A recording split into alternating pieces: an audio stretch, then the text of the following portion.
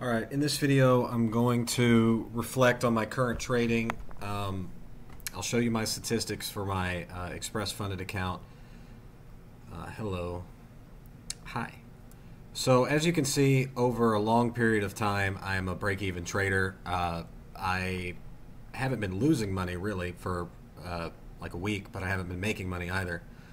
Uh, it's better to be break-even than losing, I guess. Um, but you know, with that being said, uh, I just want to go over some reflections of you know what I think is going on here, uh, how I you know some of the mistakes that I think I'm I'm making, and you know reflecting on that.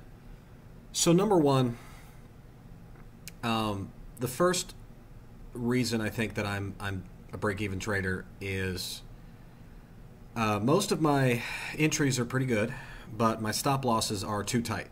So I'm just not allowing the market um, enough leeway against me. So the stop losses have been too tight. Um, number two, the month of August is just difficult. I mean, Michael Huddleston says it himself. The the Nasdaq has has not been easy to read at all. Uh, so objectively speaking, August has been difficult. Um, number three, uh, so my stop losses are too tight. The month of August is uh, difficult. Uh, it's been quite frustrating. Um, number four, I, I I have been focusing on too many models, not just honing in on one model. So from this point forward, you know, I've told you that I'm going to focus on fair value gaps. I think that I'm re-entering the market too quickly.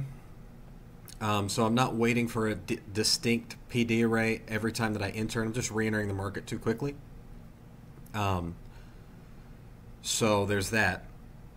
Um, re-entering the market too quickly. Number, the next thing is I think I'm probably uh, taking too many partials. Like partials are good, but at the same token, you know, if it's distracting you from like your final target, you know, a lot most of the time I've noticed with my trades, had I just let them go, uh, they would end up going to whatever target I have in mind.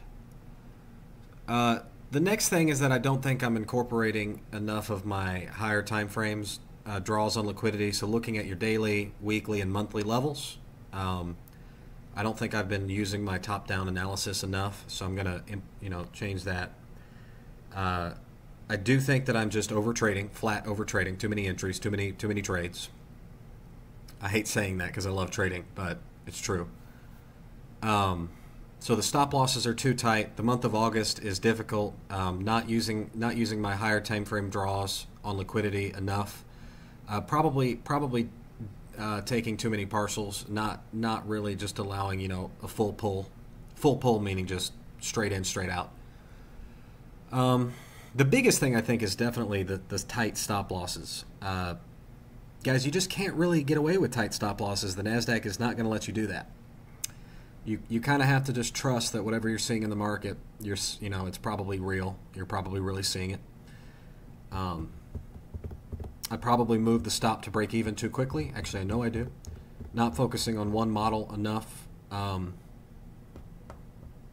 I haven't been over leveraging on this account. I mean, I've really been trading the micro Nasdaq, so it's not that. I, I actually have been trading the micro Nasdaq, as you can see. So it's not like I've been over leveraging the account. Um, it's better to be break even than to be losing, right? Uh, all things considered, most day traders just flat lose. 90% just lose. So I'm not the 90% now. I'm the 10% of not losing. Um, yeah, so not not re-entering the market too quickly, um, not using tight enough stop losses. As you know, guys, I am adaptable. I'm a very adaptable person um, when I need to be. And although some people don't think that's true, uh, I can adapt. Um, so I will reflect on my mistakes uh, and try and, and try and implement changes. Um, I've stopped over leveraging. You know, I'm on the micro Nasdaq. I'm trading the appropriate size, uh, but the stop losses are too tight.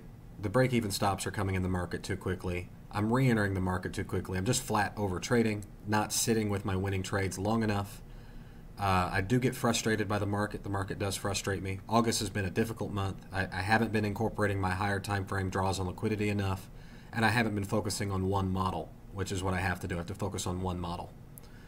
Um, all the models are going to take you to the same place if if you have the draw and liquidity correct. They're all going to take you to the same place. And I think I've been overdoing it with the partials. So going forward, what am I going to do? Well, I'm going to use wider stop losses. Number one, I have to use wider stop losses. I'm clearly getting stopped out too often. Uh, number two, I'm going to focus on my fair value gap model. So fair value gap model. Number three, I'm going to be aware of my higher time frame, so monthly, weekly, and daily draws on liquidity. Um, number four, I'm going to try and make a call, uh, predict what the next day and the next week is going to look like every day and every week, as that's an important. You have to make predictions in futures. You have to try and predict what the market is going to do.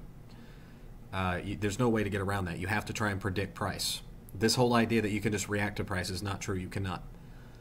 Um, and those are some of the changes that I'm going to make, and we'll see if my statistics improve, uh, especially coming into the month of September. So, this is current reflections on my current, uh, so the current state of my uh, Express funded account. As you can see, right now I'm a break even trader. Let's see if we can get this up to be a winning trader. And um, those are some of the current reflections. Bye bye.